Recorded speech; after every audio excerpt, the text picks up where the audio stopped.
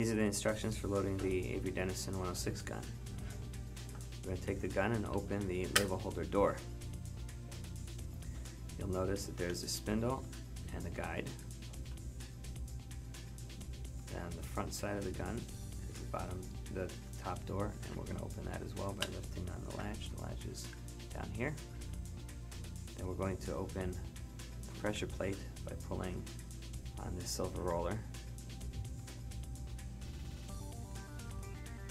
We're going to take a roll of labels and we're going to feed it through the center of the gun, sort of through this cavity that's on the bottom here. So we're going to put it here. Feed it until it comes out. The other side.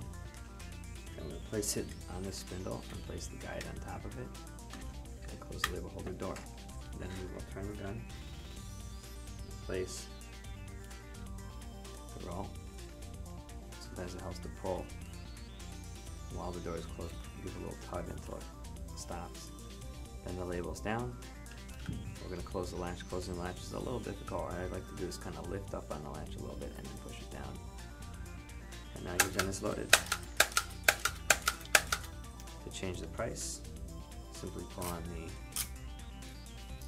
the guide to the location that you want to change and advance it forward or backwards.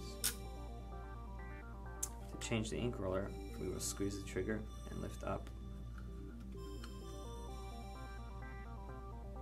Then we slide the ink roller off. It's got little tongues and grooves. You can kind of see, so it slides right back on there. And that's how you would change the ink roller. Thank you for watching this short video.